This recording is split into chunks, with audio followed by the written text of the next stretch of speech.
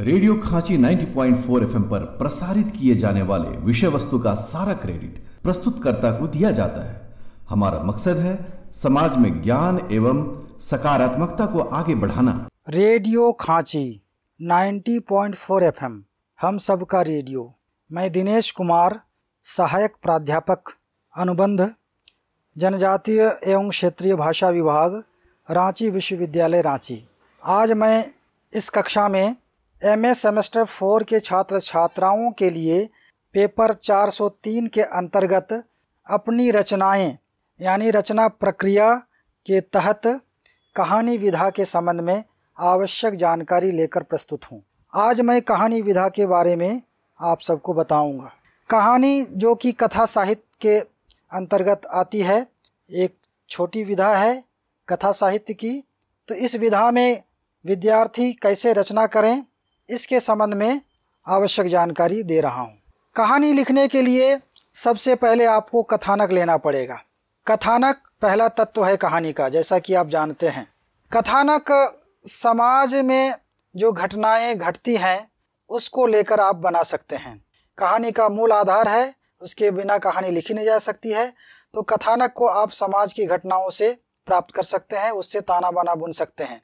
समाज में रोज नई नई घटनाएँ घटती हैं, कुछ अच्छी घटनाएँ, कुछ बुरी अवांछित अप्रिय घटनाएँ। तो जो घटनाएँ आप प्रभावित होते हैं, जिन घटनाओं से आप, उन घटनाओं को अगर समाज के समक्ष कुछ उद्देश्य के तहत प्रस्तुत करना चाहते हैं तो उसे कहानी का आधार बना सकते हैं। घटनाएँ अपने आप में पूरी कहानी होती नहीं है, इसलिए उसमें कल्पना तत्व के सहारे आपको एक कथानक का ताना बाना बुनना पड़ता है। जब आप कथानक तैयार करते हैं तो उसके बाद पात्र की ज़रूरत पड़ती है। यानी घटना को घटाने वाले या घटना से प्रभावित होने वाले पात्र कहलाते हैं। तो पात्रों का चित्रण भी होना चाहिए। यानी पात्र किस तरह के हैं?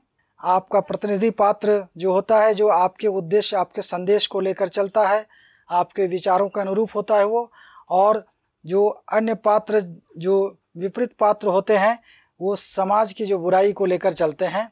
तो इस तरह के पात्रों का समावेश करना होता है कहानी में। कहानी में पात्रों की संख्या बहुत लंबी चौड़ी नहीं बहुत ज़्यादा नहीं होनी चाहिए, क्योंकि कहानी में कथानक छोटा होता है, छोटी विधा होने के चलते किसी एक प्रसंग को लेकर कहानी बनाई जाती है।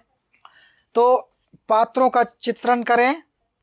पात्रों का चित्रण आप प्रकट में ज़्यादा नहीं करके उसके क्रियाकलापों के ज़रिए ज़ाहिर करें कि किस तरह का पात्र कौन है, उसके विचारों से, उसके संवादों से आप प्रकट कर सकते हैं। पात्रों के बाद आता है संवाद। तो संवाद यानी कथोपकथन। कथोपकथन अथवा संवाद उसे कहते हैं जो कहानी में आने वाले पात्र आपस में बातचीत करते हैं। बीच बीच में कहीं कहीं बातचीत करते हैं पात्र तो उसे ही संवाद कहा जाता है। उस तरह का संवाद का समावेश करने से कहानी में सजीवता आ जाती है, जीवंतता आती है। तो कहानी को सजाव, सजीव बनाने के लिए और कहानी में गतिशीलता लाने के लिए बीच बीच में संवाद देना अपेक्षित होता है।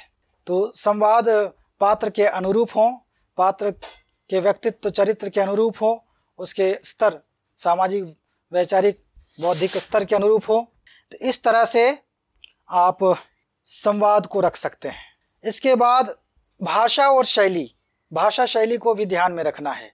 आप अपनी भाषा में तो लिखेंगे ज़रूर, लेकिन भाषा का स्वरूप कैसा हो, इस बात को ध्यान में रखना है। कहानी की भाषा सरल, सहज होनी चाहिए, लेकिन प्रभावशाली होनी चाहिए। उसमें लालित्य होना चाहिए। यानी पाठक को पढ़ने के लिए मजबूर कर दे, यानी उसे प्रभावित कर दे, अपने साथ बहा कर ले जाए, इस तरह की भाषा होनी चाहिए। यानी प्रवाहमयी मई भाषा होनी चाहिए। तो भाषा के बाद शैली एक तत्व इसी के साथ जोड़ा गया अलग चीज़ है, हालाँकि। तो शैली यानी कहानी कहने का अंदाज। आप कई तरह से कहानी कह सकते हैं। इतिवृत्तात्मक शैली, आत्मकथात्मक शैली, पत्रात्मक शैली, डायरी शैली, कई तरह की शैलियों में कहानी लिखी जाती है। तो आपको कहानी की मांग, यानी कथानक की मांग के अनुरूप आपको शैली का चयन करना है और प्रस्तुत करनी है कहानी को। तो शैली में ध्यान में रखना है कि इस तरह का हो, की शैली होनी चाहिए कि कहानी ज़्यादा से ज़्यादा प्रभावशाली बने। पाठक ज़्यादा प्रभावित हो उससे, ज़्यादा उसके दिलो दिमाग पर असर पड़े, इस तरह की शैली का वर्णन कर लेकर चलना है। तो इन बातों को ध्यान में रखना है, भाषा और शैली के अंतर्गत। इसके बाद आ जाता है देश काल का चित्रण। देश काल से तात्पर्य है किस जगह की घटनाओं को आपने कहानी का आधार बनाया है, यानी घटनाक्रम को। कहाँ की घटना, किस जगह की घटना है? बहुत सारी घटनाएँ जो वैश्विक स्तर पर हो सकती हैं। तो फिर भी उस जगह की झलक अगर कहानी में दिखाई जाए तो ज़्यादा सजीवता आती है कहानी में। तो इस बात को ध्यान में रखना है क्योंकि हर क्षेत्र का अपना परिवेश होता है तो परिवेश की झलक, परिवेश की झलक होनी चाहिए। देश से तात्पर्य है परिवेश भी, है ना?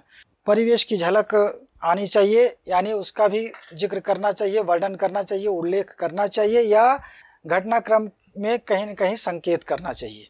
इसके बाद काल आता है तो काल से तात्पर्य है सुबह, दोपहर, शाम, रात इत्यादि। इसके अलावे जिस अवधि की घटना यानी या घटनाक्रम को आपने कथानक का आधार बनाया है, उस अवधि से आप, उस अवधि से अवगत भी कराएँ कहानी में। क्योंकि समय परिवर्तनशील है, पर समय के साथ सभ्यता का भी विकास हो रहा है नई नई चीज़ों का आविष्कार हो रहा है, समाज में नई नई चीज़ें आ रही हैं तो जिस समय जो चीज़ें उपलब्ध थीं, जिस काल में, उसी के अनुरूप वहाँ चित्रण होना चाहिए। समय का चित्रण कई बार कहानी के भाव के अनुरूप भी किया जाता है। अगर नई उम्मीद का चित्रण करना है, नई उम्मीद की बात तो सुबह का चित्रण, और उम्मीद टूटने तो उस समय काल दिखाया जाता है, साँझ। तो ये जो रूढ़ बनाया गया है, इस तरह की रूढ़ी बनाई गई है तो उनका भी चित्रण कहीं कहीं पर किया जा सकता है। तो देश काल के चित्रण में इन बातों को ध्यान में रखना है। इसके बाद आ जाता है उद्देश्य या संदेश। साहित्य की कोई भी रचना बिना संदेश, बिना उद्देश्य के नहीं होती। तो आपको एक उद्देश्य लेकर चलना है, एक संदेश देना है। आपको ये कहानी की घटनाओं के ज़रिए ये ज़ाहिर करना है कि आप कहना क्या चाहते हैं। समाज को क्या दिखाना चाहते हैं, क्या देना चाहते हैं अपने विचार क्या है, आपके विचार इसमें क्या है।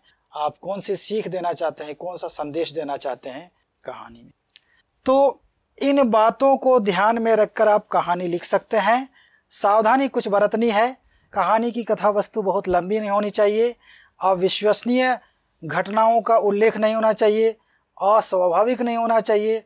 और असामाजिक बातों की स्थापना का आग्रह या प्रयास नहीं होना चाहिए। अधिक पात्रों का समावेश नहीं होना चाहिए। संवाद बहुत लंबे, बोझिल और बनावटी नहीं होने चाहिए। पात्र के अनुकूल होने चाहिए। काल और देश के विपरीत किसी प्रसंग या परिवेश का चित्रण नहीं होना चाहिए। उद्देश्य और संदेश कभी भी सामाजिक, सांस्कृतिक, राष्ट्रीय या संवैधानिक मूल्यों के विपरीत नहीं होना चाहिए। यानी उसको मेंटेन करना है ध्यान में रखना है।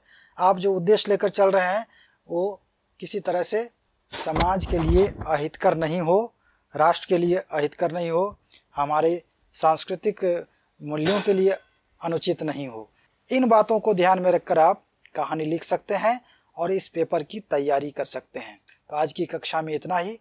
धन्यवाद।